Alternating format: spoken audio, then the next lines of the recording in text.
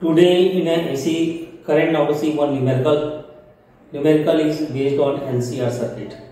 The numerical is like this way. Just you can see here. Figure shows the series LCR circuit connected to a variable frequency to 30 volt source L is equal to 5 Henry, C is equal to 80 microfarad and R is equal to 40 ohm. A determine the source frequency which derives the circuit in a resonance and second obtain the impedance of the circuit and amplitude of the current at the resonating frequency C determine the potential drop across the three elements of the circuit shows that the potential drop across the LCR LC combination is zero at a resonating frequency. You can see here E that is uh, connected R, C and L all are in series with the AC source.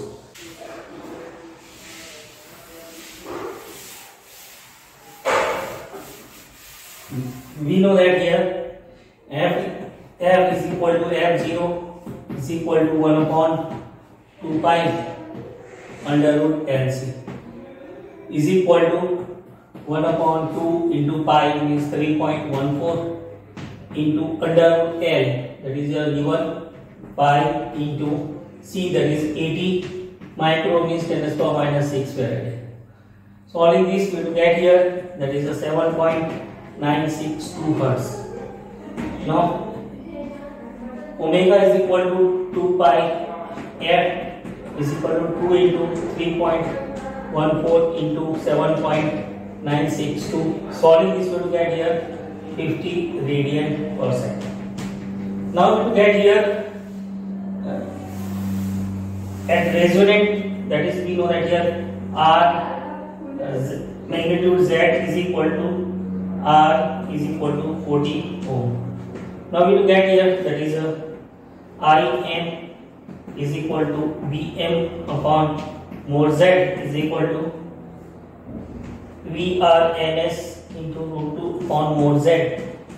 Mod Z is here that is R Vrms 230 into 1.414 divided by 40. Solving this you will get here 8.13 ampere.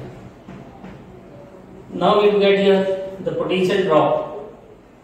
We will get the potential drop that is a across R that is potential drop potential drop across R that is a VR is equal to that is a IRMS into R is equal to Im upon root 2 into R. Im is here that is a, we can write here 8.13 into 40 divided by 1.414 solving this we will get here that is a 230 volt. Now when the LCR all are in uh, series then the potential drop uh, that is V is equal to under root we know that here V R square plus VL minus VC whole square. Squaring both the side V square is equal to VR square plus VL minus VC whole square. Simplifying we will get here now we know that here V square is 230 square is equal to 230 square plus VL minus VC square. So we can write here VL minus VC square is equal to 0. Therefore VL minus VC is equal to 0.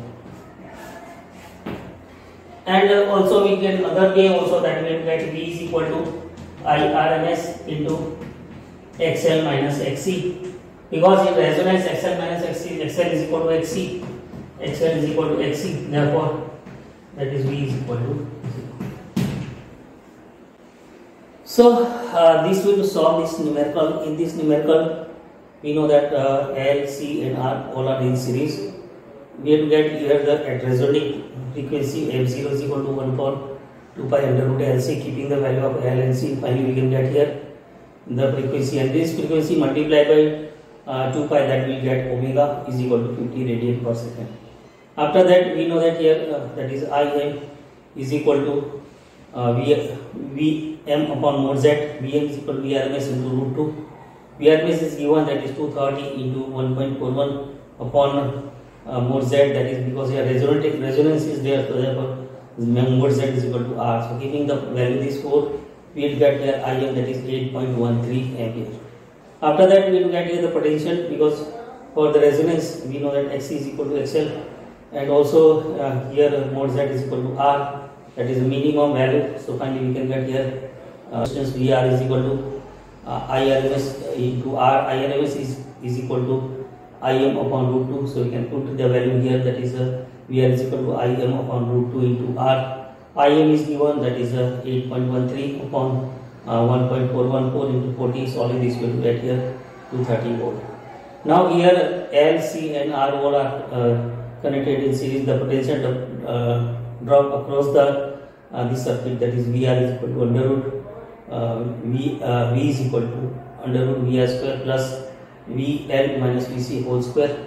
Uh, squaring both the side and keeping the value of V and VR and finally we found, we found that VL minus VC is equal to uh, 0 and other way also uh, V is equal to IRMS into XL minus XC. XL is equal to XC for resonance. So finally we can get here P is equal to 0. So this to solve this matter.